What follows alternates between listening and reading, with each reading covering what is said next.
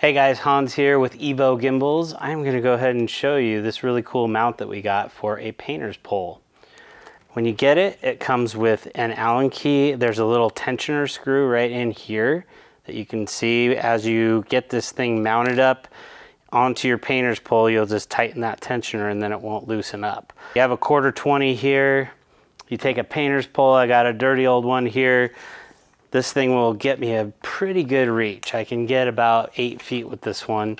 You just simply screw this thing on here. You tighten the tensioner and screw and then that way it won't come off just like that. And then you can put anything you want to on here. Um, give you an example. I got my GP Pro out here. I'm gonna go ahead and power that guy on. And now you can see that I can use this and get some really big jib moves, some really big dolly style moves.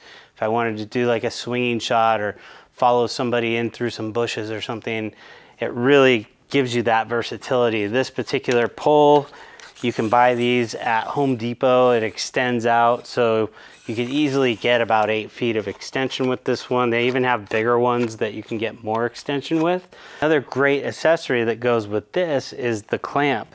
So we can use our phone clamp here, put it on the end of the pole, be able to set up your phone so you can see up there what your camera is shooting. So this is just an old ratty one that you could get at Home Depot. You've got this amazing, great little tool for filming and getting really great shots, really cool, creative shots.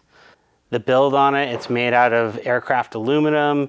It's a quarter 20 on the top and it's just a simple painter's pull thread on the bottom. It changes the whole perspective on the way that you're shooting and it gives you a whole new dynamic of how you can get your shots.